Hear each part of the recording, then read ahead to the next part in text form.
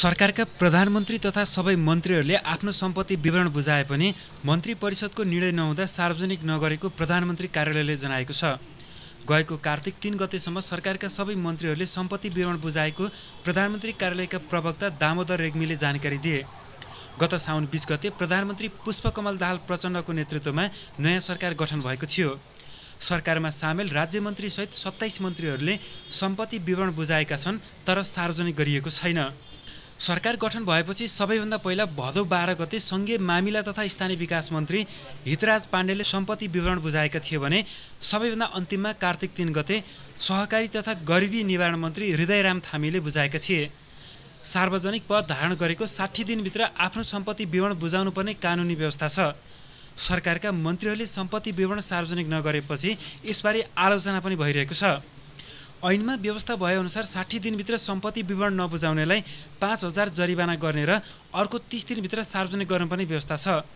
सम्पत्ति विवरण सार्वजनिक नगर्ने सार्वजनिक पदमा बसेका व्यक्तिमाथि अख्तियार दुरुपयोग अनुसन्धान आयोगले अवैध सम्पत्ति राखेको अनुमानका आधारमा अनुसन्धान कार्यलाई अघि बढाउन सक्ने व्यवस्था गरेको छ।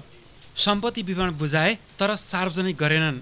यसअघिका सरकार गठन भएको एक महिना हाराहारीको समयमा प्रधानमन्त्री कार्यालयको वेबसाइट मार्फत सम्पत्ति विवरण सार्वजनिक गर्ने गरे तापनि तिन महिना पुग्दासम्म वर्तमान सरकारले सम्पत्ति विवरण सार्वजनिक गरेको छैन।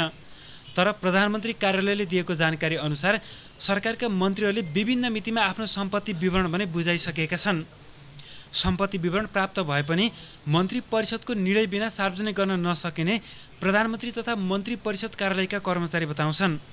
मन्त्रीहरूले सम्पत्ति विवरण बुझाउने तर सार्वजनिक गर्न चाहिँ किन डराउने भन्ने प्रश्न खडा भएको छ। कुन मितिमा बुझाए मन्त्रीहरूले सम्पत्ति विवरण? रक्षा मन्त्री बालकृष्ण खाँड कार्तिक एक गते। कृषि विकास मन्त्री गौरीशङ्कर चौधरी असोज बिस गते।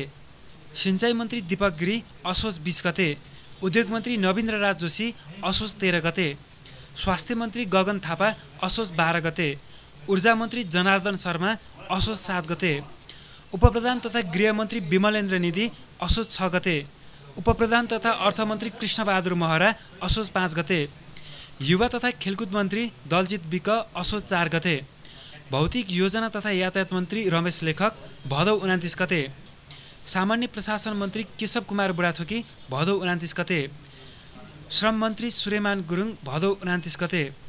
वन तथा भू संरक्षण मन्त्री शङ्कर भण्डारी भदौ उनातिस गते।